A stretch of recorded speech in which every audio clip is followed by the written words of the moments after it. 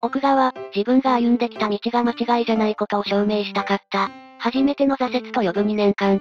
振り返れば右肘痛、右足首の捻挫、左足首骨折、椎間板炎、右脇腹痛。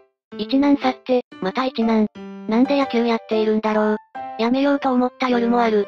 それでももう一度、戻りたい。帰りたい場所は一つしかなかった。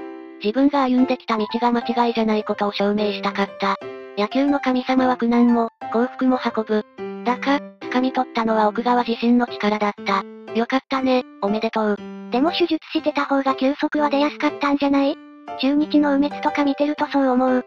手術してたらもう一年早く復活してた気がしないでもない。一試合では証明できんやろ。何年無駄にしたん？そんなわけないが確かにそれっぽい言葉やね。間違いだったと思うで。素直に手術するべきだった。